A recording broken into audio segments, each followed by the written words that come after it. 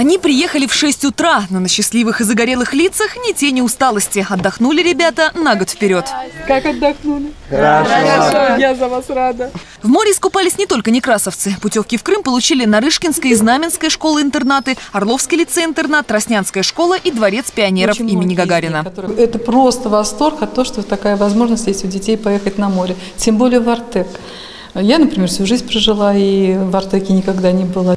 Мечта всех советских детей встретила орловчан как родных. Лучший лагерь мира по версии международного конкурса в Токио. Лучшие программы и, конечно же, самые лучшие вожатые.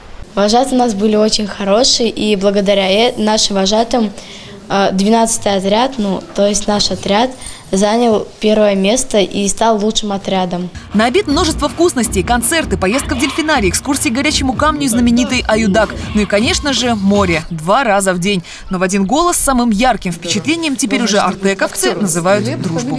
Нам, мы в конце смены, нам выдавали веревочки, мы на них вязали, как ниточки дружбы. Каждый друг друг другу пи- это вязал ниточку на память, вот, чтобы помнили. То есть у тебя столько друзей появилось? Ребята еще и не осознали, что эта смена получилась исторической. Мало того, что это первая орловская делегация в новейшей истории Крыма, на эти две недели выпал и День защиты детей, и впервые в Крыму День России, и день рождения самого лагеря.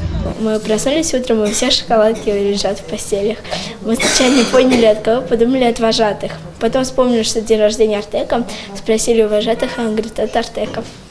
Путевки получили только отличники и активисты. Тем, кто в сказку не попал, есть стимул взяться за учебу и дополнительное образование. Этим летом в Артек попадут еще несколько сотен орловчан. Дарья Новикова, Эдуард Чернаускас, телеканал «Первый областной».